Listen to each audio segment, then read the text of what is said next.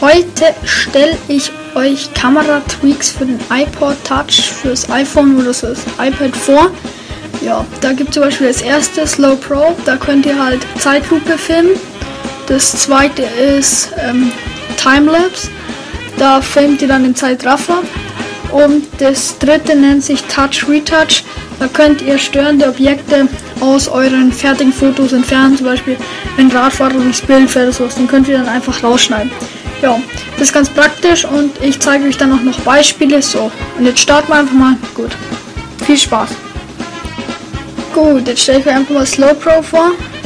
Gut, hier seht ihr schon ein fertiges Video. Da habe ich meine Hand gefilmt. Ja, da seht ihr schon normal ist das Video 9 Sekunden und jetzt ist es 20, also ist es langsamer geworden. Ja, okay. Jetzt, hier sieht man nicht so heftigst viel. Ja, ich zeige euch jetzt dann auch gleich noch ein Beispiel.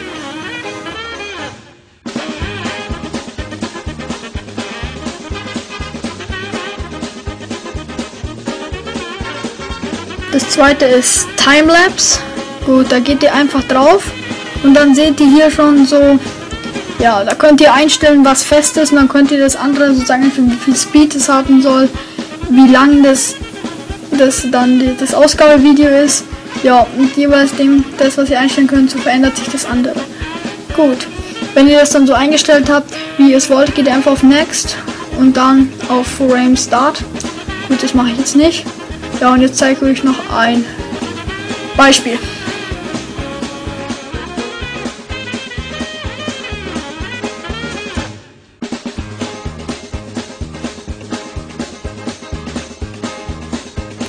Gut, das dritte ist Touch Retouch.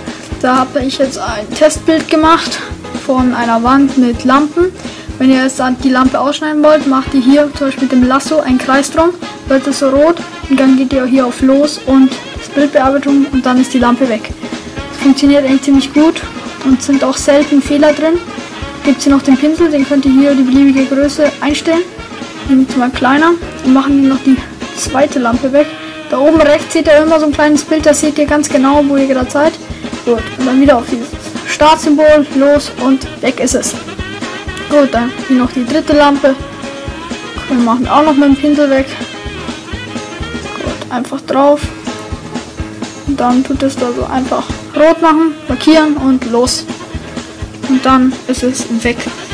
Wenn ihr jetzt mit einer Einstellung nicht zufrieden seid oder was zurückhaben wollt, ja, dann geht die hier einfach auf oben diesen Zurückpfeil und dann werden eure sozusagen zurückgemacht.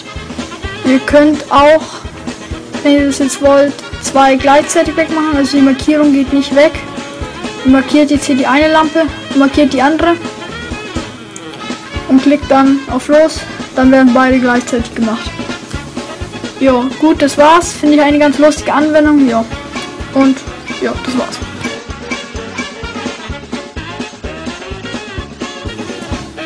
Also ich bedanke mich wieder, dass ihr mein Video angeschaut habt.